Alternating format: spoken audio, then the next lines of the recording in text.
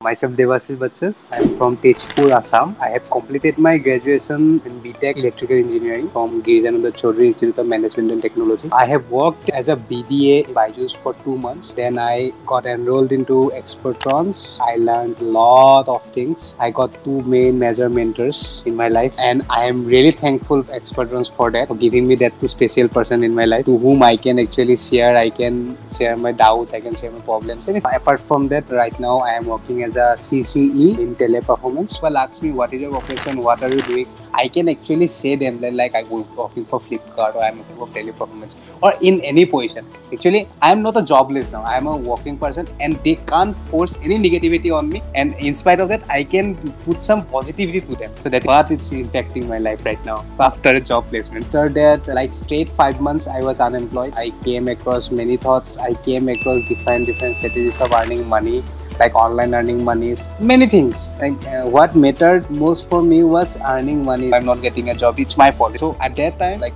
I didn't ask money so much from my parents. But right now, I'm going to buy iPhone 13. First of all, I won't be sticking to one company. I'll switch my companies. I'm not saying that in six months, in three months, I'll be switching my companies. No I'll be switching my companies in two years, three years. First, you will obviously look for good opportunities. If some else company is offering you with a good package and the same qualifications you are already engaging with the others previous company and they are providing you less package. So you'll obviously go for the good package. So in that way, I will obviously switch my companies. I'll always go for Google. My aim is Google. Let me see if my future endeavors help me to get enrolled in Google. When I got into Expertrons and Expertrons was the best. I already told you we had only four students with with us and her was so good he even like talked to each and every one about any small issues we are getting. He makes himself clear that we don't have any doubt. Till the last we don't have any doubt. Our doubts are clear? Siddharth will leave the class our doubts are not clear? He will stay up to like 11 p.m 12 p.m 12 and no you, you won't go he will stay he will make us clear the doubts and he'll go so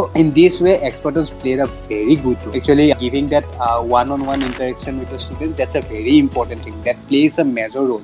So my one and only message to every student looking to this video, guys, give your 100%. Your teachers are your gods. They will help you at your worst.